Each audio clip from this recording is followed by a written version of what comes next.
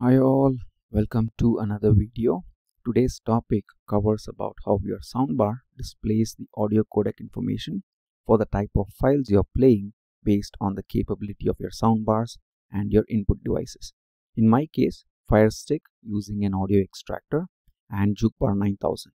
It is also applicable for Jukebar 10000 as it has the same display information.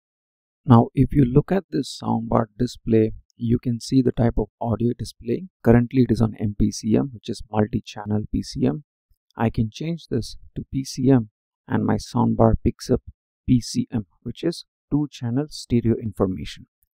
So these are the basic formats which is PCM and MPCM which will be supported throughout all the devices.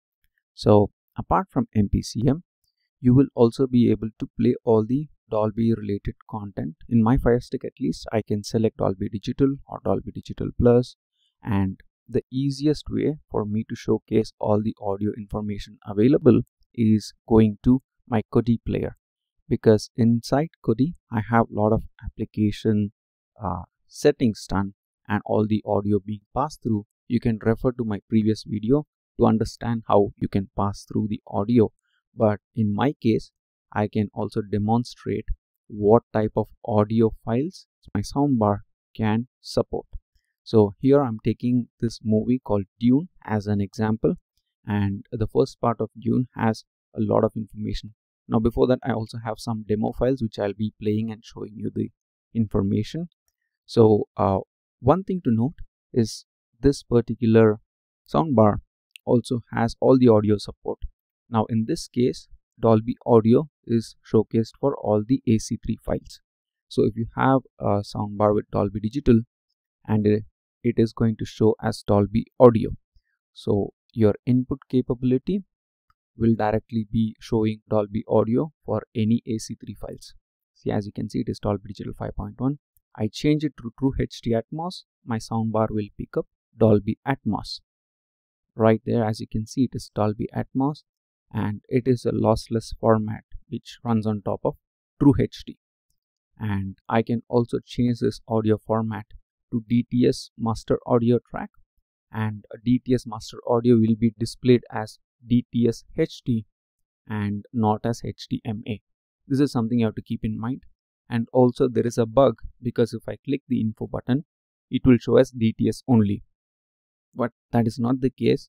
The problem is Zebronics have not fine tune their software and it still has this bug which is not been fixed by them. The moment I pause or play the video, it will again show DTS HD. So this is one thing you have to keep in mind. And uh, if it is only going to show DTS, it means it is a DTS 5.1.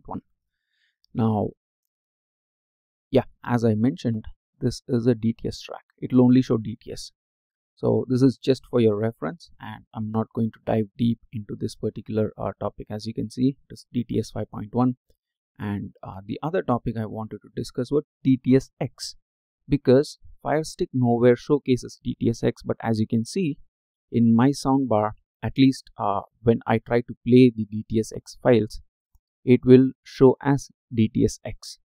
So uh, i'm just playing the same file again for you to uh, see because of the software issue you know now now it is going to show dtsx right there as you can see i'm going to click on the info again so that you will understand this is in fact a dtsx file.